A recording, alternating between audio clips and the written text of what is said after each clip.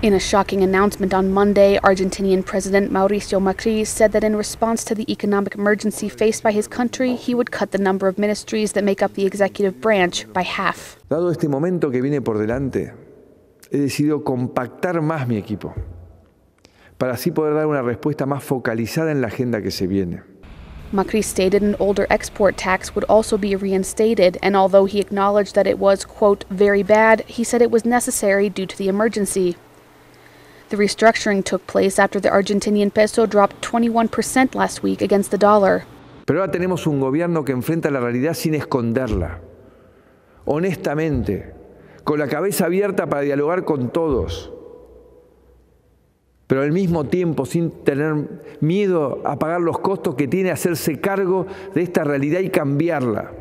Although exactly how the ministries will be organized was not specified, official sources say that of the 22 current areas, only 10 would remain after a series of mergers.